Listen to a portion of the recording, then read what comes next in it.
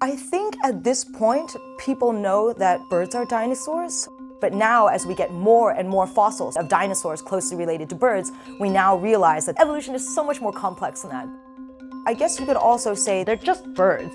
Yeah, my birds have claws and teeth, but I don't think I'd be able to come up with something as cool and as crazy as these specimens have shown us.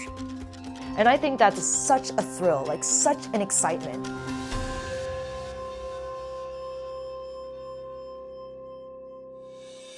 Paleontology is not what it was in the 20th century. 50 years ago, mostly what paleontologists were doing was digging up bones, drawing them, comparing them to each other, being like, this is different, giving it a name. It was less a biological science than it has become in these days. And it's amazing because now we have all these new ways of studying dinosaurs. It's no longer just like manly men who go to the field and dig. You know, now you have like, you know, girls like me. My name is Jingmai O'Connor, and I'm a vertebrate paleontologist who specializes in the study of Mesozoic birds from the age of dinosaurs.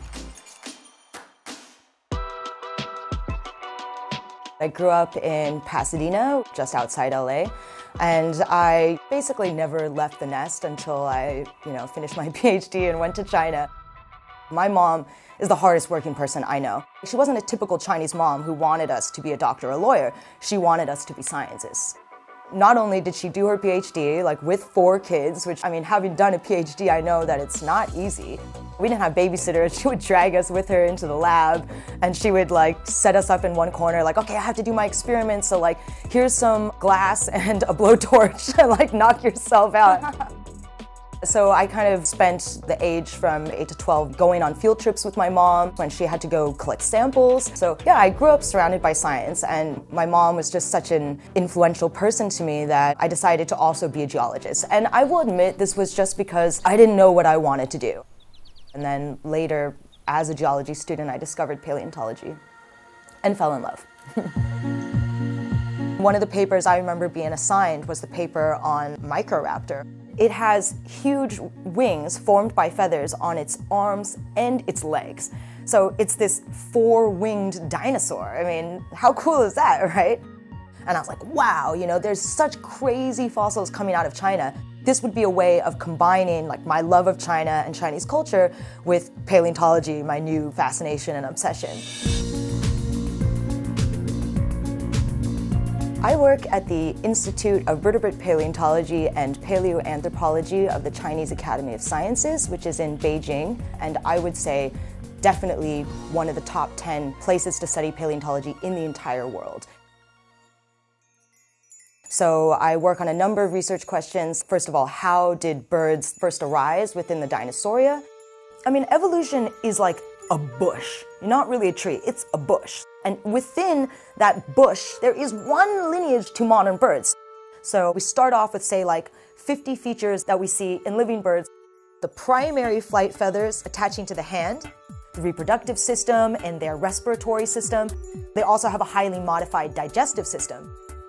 Some of the features that evolved in the modern avian lineage also evolved independently in other Mesozoic birds.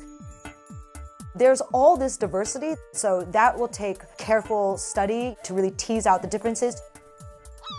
So bird fossils are rare, but in China you have just a ton of fossil birds.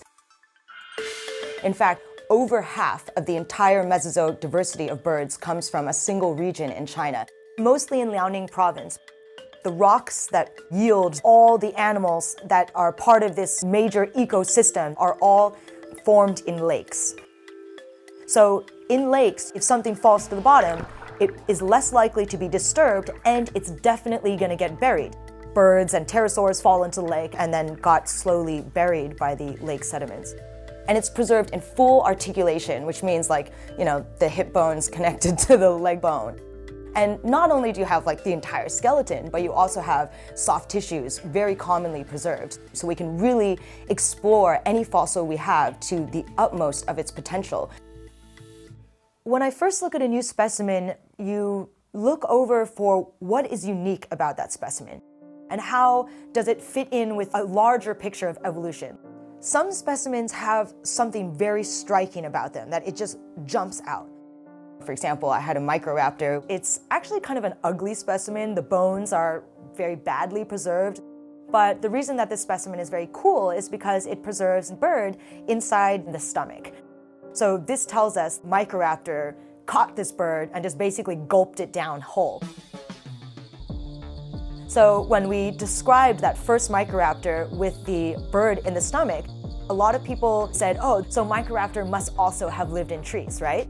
But somebody described a Microraptor that had fish remains in the stomach, and another specimen preserves a lizard in the stomach. So that kind of just like threw a wrench into the whole hypothesis that Microraptor was living in trees, and that's how the lineage evolved flight. But sometimes, if you want to see a small anatomical feature, you need to look under a microscope. This was the case with the specimen of Eoconfuciusornis. This specimen preserved what I thought was ovarian follicles. So we took a little sample, demineralize it, stain them with the same chemicals that we use to stain modern tissues, and look at the sample under a microscope. And what we saw was that they are ovarian follicles. And I was like, yes. they have all these tiny, tiny little follicles. And then when they're about to make a clutch, these follicles will start to deposit yolk and get big very quickly, just like we see in living birds. They can form yolk very rapidly. This is a product of higher metabolic rate. So we hypothesized that Confuciusornis and kin had a high metabolic rate. The ability to grow fast is also a product of your higher metabolic rate. So we looked at the bone structure to see if I was right about my hypothesis. You see that the bone grew fast, almost like in living birds. They reach adult size within the first year. So the data from the soft tissues of the ovary agreed with the data that we saw from cutting the bones and looking at the bone tissue. So that was cool. Every time I get a specimen that preserves some weird soft tissue, I'm like, all right, like this one preserves lungs. Let me like learn everything about bird lungs. Or this one preserves what I interpret as ovarian follicles. Now I have to learn everything about the ovary. And it's just cool how you can't understand some of the skeletal structures until you see the soft tissue structures, like feathers. Here we have a bird called Jeholornis prima, which lived about 120 million years ago, and actually this is my favorite early Cretaceous bird. Now, the most challenging thing about this specimen is that it has this extremely elongate tail. And this is weird because all living birds, the bony part of the tail is very short. We would expect evolution to be moving in that direction. And I thought it has feathers along the entire length of the tail, so it also would have created drag, meaning it would resist your ability to fly.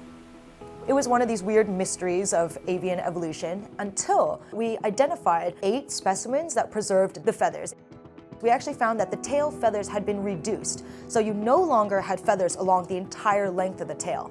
You only had feathers in two patches. It doesn't look like it has a lot of aerodynamic properties. However, if you make the tail longer, you're actually making the tail more effective as a stabilizer during flight. So the elongated tail in Jeholornis actually allowed it to fly better. We just couldn't tell that until we had soft tissue preserved for a long time, we were trying to fit everything that flew into one evolutionary path towards modern birds. Now we actually know that flight evolved within dinosaurs at least three times, maybe even four times. So it's a very complicated evolutionary picture, and this is just something that we've learned within the last decade. So maybe 10 years from now, it's gonna be like, oh, flight evolved in dinosaurs like 10 times, like who knows? But in terms of the evolutionary story of birds themselves, I find it so fascinating how this simple process of natural selection could produce the incredible diversity that we see today. That's insane, you know, it's, it's mind blowing. My mom, she said, every generation needs to be better than the one before it. And so every paper I work on, every specimen, you're really focusing on some like tiny little puzzle piece that then other later generations have that knowledge at their fingertips and that's why paleontology is so exciting because, you know, 100 years from now, paleontologists will still be having exciting new stuff to work on.